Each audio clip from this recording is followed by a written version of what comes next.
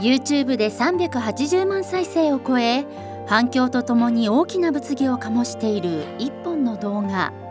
都会から地方に移住し夢だった田舎暮らしの日々を発信。しかし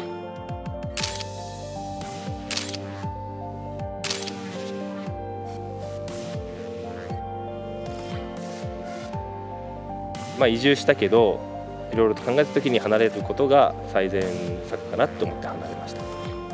そう話すのは動画を投稿した柳生明さん。移住先を離れることになったわけ。それは、まあ、自分地域のその関係している団体の方、まあ、担当の行政の方こう3社全てに思いのすれ違いがあったのかなって思います絶えなかったですねもうその住民トラブルが。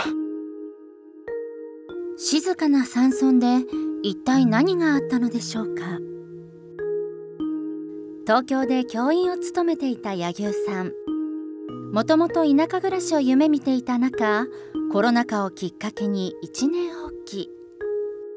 2021年の冬家族と共に愛媛県にある山あいの集落へ。その際ある制度を利用しました。地域おこし協力隊っていう制度を使って移住しました。地域おこし協力隊とは2009年に国が始めた制度で都市部から地方に移り住み地域の魅力発信や活性化をサポートする取り組みです。任期は1年から3年でその間給料や活動費として年間上限480万円が国から支給され現在6000人以上が活動しています。本来なら地域を活性化させるはずの協力隊がなぜ住民トラブルに至ったのか。柳生さんと共にその土地を訪ねました。愛媛県にある自然豊かな別子山地区。過疎化が進む地域には現在およそ100人が暮らしています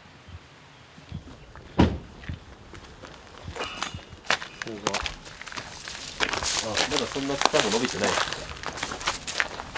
ここは？どういった場所なんですか？ここは、えーと、僕が別子山に住んでた時に直して住むという予定で、えーと、家主さんが貸してくれました、協力隊の仕事は契約する自治体が設定できます。柳生さんの場合活動の8割は自由にテーマを決めて OK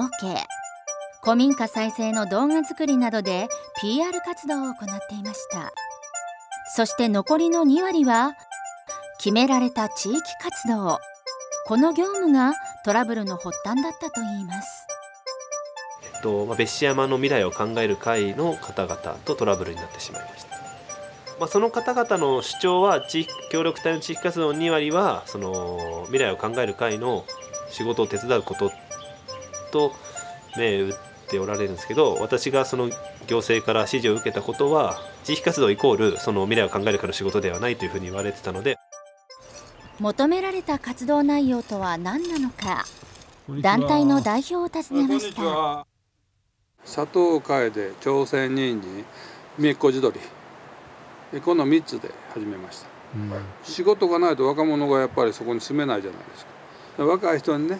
来てやっぱこういろいろとやっていただきたい。そのためにやはりこう地域おこしの方が必要だったんですよね。過疎化が進む地域をなんとか活性化したい。そんな思いからメープルシロップが取れるカエデの栽培など新たな特産品作りを始めたといいます。しかしこれがね加藤会でねこの辺のちっちゃいやつはまだここんな状況なんですよ。10年経ってもあこれで10年経ってる。そうそうこれこれね大きいのはまあまあもうちょっとこれより大きいのもあるんですけど予想ではこの3倍ぐらいになっとる なってるはずだったんですよ。状況としてはこうあまりこううまくはいってないっていうところなんですか？そう思った以上にあの育ちが悪いんですよね、取り組みを始めて約10年。いまだ採算の見通しは立っていないといいますまあ、利益を生み出せてるわけではなかったしそこで雇用を生み出せているわけでもなかったので私としては続けていくその重要性だったりメリットをあまり感じなかったっていうのはありますね。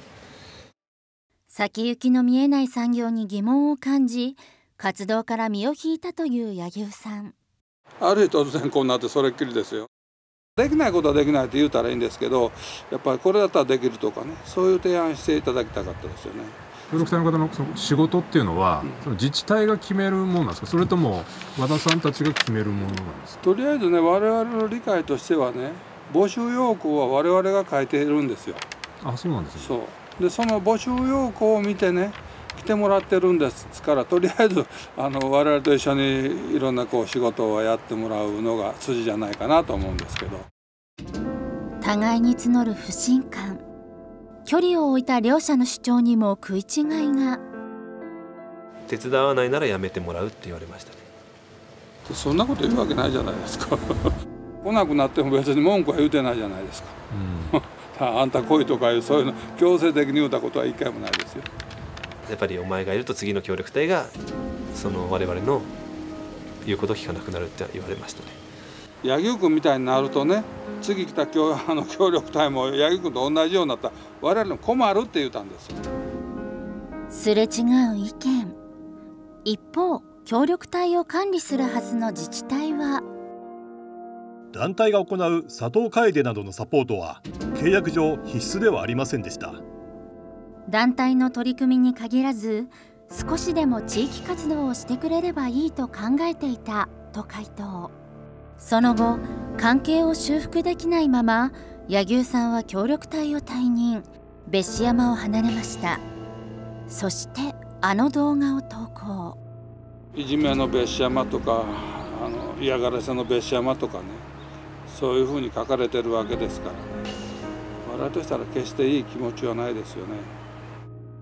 一本の動画が山あいの集落に大きな波紋を生む事態に。地域を活性化したいという思いは同じだったはず。学びの場所でした、生活したかったですね。ここで。やっぱりこう持続可能な地域にやっぱしていかないかんじゃないですか、うん、まあ我々の時代で途切れさせたくはないなというふうなことなんですよ互いに共存する道はなかったのか。制度に問題は？地方移住の難しさについて改めて考えます。はいひろゆきさんどうでしょうか？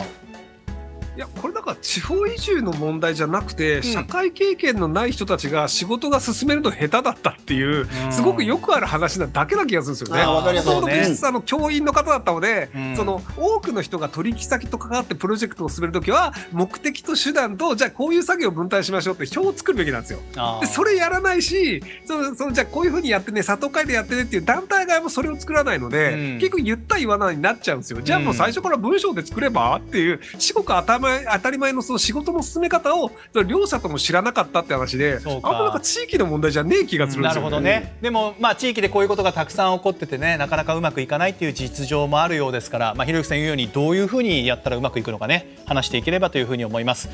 ではゲストをご紹介いたします。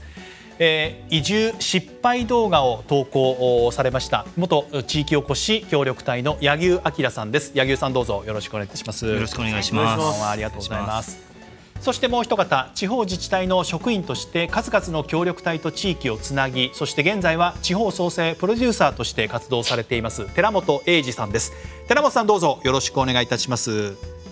ろしくお願いします。はいありがとうございます。こんばんはえまずはじめにですけれども VTR で取材させていただきましたこの別市山地域のですね未来を考える会ですけれども、えー、スタジオ出演いただけないということですできないということですので、まあ、あの意見が偏らないようにですね、はい、随時その主張を改めて事前に聞き取っておりますので、えー、私の方からご紹介してまいります。では早速ですけれども、まあ、この地域おこし協力隊としてですね2割のそのいわゆる地域活動というところが、まあ、そもそもこうトラブルの発端になったということなんですけれどもこれはどういうことだったのか柳生さんお聞かせいただけますか？はい、えーと、問題でトラブルになってしまったのが別島未来プロジェクトといってさっきもモニターで映っていた、まあ、佐藤楓と朝鮮人参などの栽培に関する事業を、えーまあ、協力隊として手伝うか手伝わないかというところでまあ、団体側の主張としては、あの手伝わないなら、えーと、協力隊としては認めないやめてもらうっていうのとで私はそれ以外が地域活動ではないと思うので、えー、違った形で地域に貢献させてもらえないかという意見の食い違いから生まれてトラブルになりました。あの動画を見た限りだとその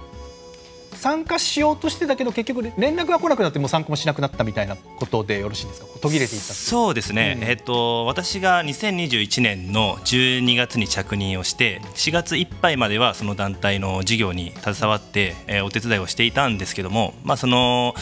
地域で過ごす中で、うん、えーと、いろんな地域の方々とも仲良くなっていろんな地域の歴史や、まあ、過去の協力隊の方々がどうして定住していないのかっていうことを聞いた時に、まあ、ちょっと違和感というかちょっと懐疑心を抱いてちょっとこう、まあ、そういうのを抱きながらも、その団体の人にもお世話になっていたのは事実だったので手伝ってはいたんですけど、まあ、そうした時に連絡が来なくなったので、まあ、何度かその連絡来なくなった後に、えーと、自分で場所を探して行ったりもしたんですけども、まあ、持ち物が違ったりだったりとか、まあ、予定されていた会議の場所に何人か集まってるんですけど主要メンバーがいなくてすっぽかされたりだっていうのがあったので、まあ、こういうのであればもう参加しないで、えーと、やめようと自分の意思で判断して引きました。になっていったっていうことですね、はい、ひろゆきさんどう思いますか？その団体が疎遠になっていかなくなったっていう話とそもそもその村を出てくっていうのでそのややめてもらうって言われてやめさせられて出てかせられたわけじゃないんですよね。最終的には別所さんが自分でその団体を辞めると決めて村を出てくっていうのもご自分で決めたんですよね。だからその追い出されたみたいな表現はちょっと違うのかなと思ったんですけど。あそこだと八木さんあれですかねそのいわゆるその後起きて起きた数々の、まあ、嫌がらせめいたことの話もしなきゃいけなくなりますかね。そうですね、うん、あの動画だけではやっぱり話せないこともたくさんあってやっぱり個人のプライバシーの問題にかかかかってしまうこともあったので。でもその何が起きたかっていうのは具体的には話すことはできないんですけど、うん、や確かに追い出されたっていう表現ではなくて自分で決断して出ていったのは、ひろゆきさんのおっしゃる通りです、はい、ただここはあのひろゆきさんに一言伝えておくとするとやっぱりその疎遠になった後ですねあの嫌がらせめいたことがあの続いてそれがまあご本人としては追い出しと感じたかなっていう状況があったかなっていうのはお伝えしておかなきゃいけないかなとは思います。ひろゆきさんどうぞ。いやでもそれが結局客観的にいやそれやっちゃだめでしょっていう話であればもう一回役所なり行政通すなり法に触れるんだったらじゃあそれ法律的な処理をしましょうっていう話でなんかその追い出されその、うん、な何か嫌がらせを感じた。でもそれは別にその地域の人には全然嫌がらせじゃないよ。普通のコミュニケーションだよっていう可能性もあるじゃないですか。だからなんか一概にそれこの場でちょっとそれがわからないなと思ったんですけど。そこはどうですか？もう今日はちょっとそこはあれですかね？そこえっ、ー、と結構その動画を見るとねあの結結構シリアスなんですけど、うん、今日の議論にそこでいかない方がいいのか？まあそれを戦ってでもやろうとは思わなかったってぐらいの話ですかね？今日今日言うとしたら。そうですね。やっぱり私と妻だけであれば大人だけであれば残ってたっていう選択肢もあったんですけど、はい、やっぱりその人間関係が粗悪になってしまったやっぱ一部の人ですけど粗悪になってしまった中で、そういうな子育てとかをしていくこととか、妻も産後間もなかったので、そういったところをケアしながら自分もそういったことに向き合っていく、正直気力はなかったですね、あのご覧の通りの、まあ、要するに考える会があって自治体があってご本人がいるっていうこのトライアングルの中でうまくいかせるはずだと。で、えーと、フェアであるためにもう一回言っておきますけども考える会の主張もここでご紹介しておきますね。はいえー、2割の地域活動ということについてですけれども、えー、団体への参加は必須ではありませんと、はい、ただ地域に新たな産業を生み出すため、えー、協力隊に、えー、力を貸してほしかったということですね。それから、えー、柳生隊員は一切連絡もなく活動に参加しなかった。活動への不満や改善策など対話をしてほしかったっていうのが言い分としてありますのでお伝えしておきたいと思います。さあ寺本さん一度ご意見をお聞かせいただけますでしょうか？はい、はい、すいません。まずそうですね。やっぱり8割と2割っていうのがどういうその配分なのかっていうのがよく分かんないなっていうところがあったのと、はい、まあ、もう一つはやっぱりその誰に雇われてるかっていうところだと思うんですけどあの多分あの地域おし協力隊っていうのはあの総務省からあの役場の方で事業が始まってて役場の方が雇用主だと思うんですよね。ということはその雇用雇用主である役場が、えー、おそらく命令をさっきひろきさんが言ったようにあの、まあ、業務だからややってくれっていうことをしっかり言わないといけないんじゃなかったのかなと思うんですけど地域団体にその業務をと言われてもなかなかそこはちょっとそのちゃんと役場の方が地域団体の方にこういう内容で受け入れをしてくださいっていうことを言わないと難しいのかなということがあったので、うん、まあ、そういったことを先ほど紙に書い、まあ、契約書っていうところでそうですね。しっかりその業務の内容をやっていく方が良かったんじゃないかなって思ったんですけどね。ひろきさんどうぞ、うんうんうんいやあのそもそもの前提が多分間違ってると思うんですけど、うん、その協力をこう主体みたいを入れなきゃいけない地域って絶対問題がそもそもあるんですよ。なので誰かが言っていきなりそのまま行くわけないんですよ。うん寺本さんみたいに優秀な人がたまたまうまくいった地域を見てあじゃあどこでもそうなるんだっていくといや大変なことになるよね。で地域の人もちゃんとやれないし役所もちゃんとやれないし自分もじゃあそこの間に入るのも難しいっていうのが当たり前だと思うんですよ。だからその中で普通に東京とか中核都市で働くよりもコミュニケーション能力高くて能力高い人じゃないとそこを全部円滑に回すなんて難しいと思うんですよ。ね、まさに状態でいそうそうで田舎で月給月40万めっちゃ高いじゃないですか。それは嫌われますよ。でこれもあのフェアであるためっていうことも含めてですね、えー、自治体そして団体の意見もご紹介しておきます。まず、えー、未来を考える会ですえー、誇張されたあ虚偽的な内容によって地域にネガティブな印象を与えたことに憤りを感じる。そして自治体の担当者時系列や内容に歪曲された表現もある公務員という立場でこのような動画を上げたのは残念というふうにコメントしています。一言柳生さんこれどういうふうにお感じになっているかお聞かせいただけますか？そうですね、いろいろ取材を受けてその虚偽的な内容だったり歪曲された表現っていうのを、えーとまあ、話されているんですけどどこがその虚偽的でどこが歪曲されたのかっていうのは明確にされてないので僕からすると自分に起きた事実を書いていただけなのでそこはあの説明してほしいです、ね、の相違です、ね。はい、ありがとうございます。それが分かれば大丈夫です。えっ、ー、と寺本さんどういうふうに見てらっしゃいますか？そうですね。動画上げちゃったらやっぱ結構影響力ありますよね、うん、でやっぱりその一方通行なんでなかなか地域の人あと自治体の人厳しいなって思ってしまっちゃいますよね。でまあやっぱり地域おこし協力隊って、まあ、あの自治体の人も言ってますけど公務員っていうまあでもそういう教育もしてねないでしょってあの、うんうん、あの自治体の方もって言うんだけど、まあ、そこでいきなり公務員とかって言われても、うん、まあ、ちょっとあの地域おこし協力隊の人から見てもいきなりええー、みたいな感じになっちゃうんだけど、まあ、そういう立場もあるんだったらやっぱり少しその動画上げるっていうのは相談自治体の方に相談されてもよかったのかな、うん、寺本さんあのね、柳生さんご自身が言ってるみたいにこんなに反響が大きいとは思わなかったって上げた時点では思ってたと思うんですよ。やっぱりそのぐらいいでも 6000, 6000人も見てる人いたら、うん、多分反響があるんじゃないかなとっていうかそのぐらい移住をめぐるモヤモヤってあるんだと思うんですよね見えないとか。だからそれでこんなにバズったのかなとは思っててそこを寺間さんどうかお感じになってるかなと思う。うん、うんだからやっぱりそのこういうど話が出ちゃうとやっぱりその地域ってやっぱり残念な思い、まあ、地域も、ね、反省すべきところはあるんだろうけど、うん、まあ、ちょっとあの、まあ、少し寂しい思いになっちゃうしこれからじゃあその別紙山にとか新居浜に住みたいと思う人がいるのかなって言ったらなかなか結構厳しいよねみたいな話になった時に地域おこし協力隊の活動としてどうだったかなっていうところはちょっと疑問はあるんかなっていうところはありますけども、ね、はい、だから、ひろきさんどうぞ。ひろきさんなんか僕がちょっと気になってるんですけど、うん、そのもう二度と関わりたくねえやっていうぐらい嫌いだとかだったらまだわかるんですけど、今回の報道のために別紙屋まで行ってるわけじゃないですか。そしたら役所の人とか虚偽とか歪曲があるっていうんだったらそこはちゃんと聞いて直そうって普通思うじゃないですか。なんで聞きに行かないでほっとこうってなってるのか僕分かんないんですよ。八木さんどうですか？だってあその役所の人は団体の人はそう感じてるわけじゃないですか。で説明でいやいやこれはこうなんですよってなったらすっきりするけど言われてるってことはひょっとしてこれどっか間違ってるのかもっていうなんか自分が間違ってるかもっていう気持ちが全然湧いてない感じが不思議だったんですよね。うん八木さんどうですか？そうですね間違ってるかもとは思ってないんですけど、まあ、その歪曲された事実だったりっていうのを確認しに行かなかったのはもう正直その話し合いを重ねても解決に見出せなかった過程があったのでそこに行く気にはなれなかったのとあとあいいですか、あとこの動画を公開した後にその行政の市長とかそのもっと管理職の方々とも話をして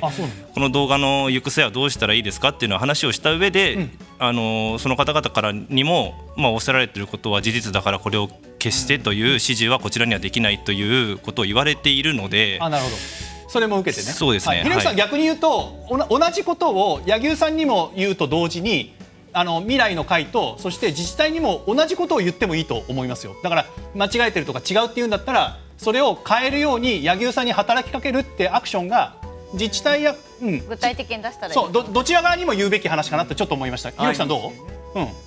そういやそう団体のおじいちゃんが今の野球さんの連絡先を調べるとか YouTube のアカウントを作ってコメントなんか難しいと思うんですよ。なので難しい中わざわざ現地まで行ったんだったら聞けばって思っちゃうそうか。あひろゆきさん逆に言うとそのぐらい380万再生っていうある種の、まあ、動画の暴力性って言葉使いたくないけどそのぐらいのインパクトあるよっていう意味でおっしゃってますかねえっと、要はその、うん、虚偽や歪曲だと思ってる人がいるんだったら、はい、それはどこですか？って確認してあこれは勘違いです。本当にこれあったんですってそれですっきりじゃないですか。そうかなるほど。だからそういう疑惑を持ってる人がいる状態をほっといてもいいっていうのが僕ちょっと分かんない。そのぐらいまあ傷ついた状態にあるっていうのはねあの分かるんだけども確かに修正することもできなくはないいやなんかその他客観的に見て問題があるんだから自分たちでまず問題を把握しようよは多分できないんですよ、うん、自分たちの村のルールはそれが当たり前でずっとやってきてるから、うん、なので外部の人が来た時にその当たり前と外部の考えのズレっていうのであれれってなるっていう問題なんで、うん、多分もうそのこの仕組みで日本全国うまくやは無理なんで、うまくいくところはあるけどそうじゃないところはやっぱりいっぱいあるよねっていうので多分獅子類類野球さんみたいに苦労する人がいっぱい今後も出てくるんじゃないかなと思います。そうですよね。